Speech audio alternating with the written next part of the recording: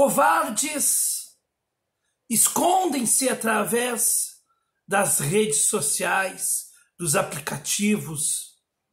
Os covardes de hoje são aqueles que são muito machões com as mulheres, é claro, mas que no mano a mano fogem porque são covardes.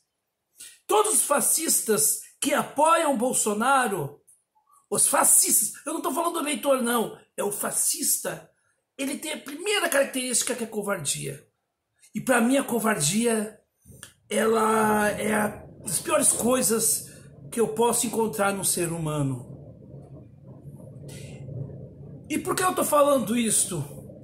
Eu estou falando isso porque o meu amigo Vina Guerreiro, de novo, está sendo alvo dos bolsomínios, do exército de zumbis ideológicos deste dessa coisa que se diz presidente. Olha, eu quero dizer para vocês o seguinte: não, não nos intimidarão, não.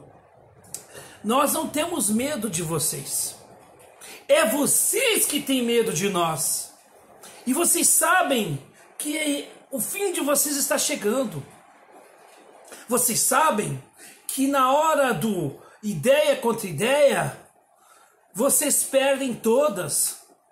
Vocês sabem que a gente tem a Constituição na mão e vocês não têm nada.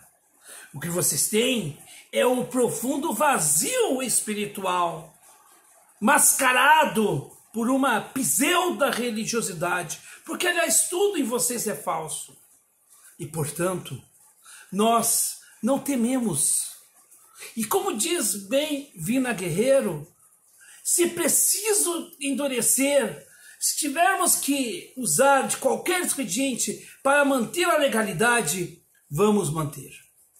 Porque agora não é hora para medos, agora é hora de ações, de vergonha na cara, coisa que estes que estão aí nas redes sociais, aqui no YouTube e em outros lugares com perfis fakes, com nomes falsos, com uh, sem foto, coisa que é dessa gente.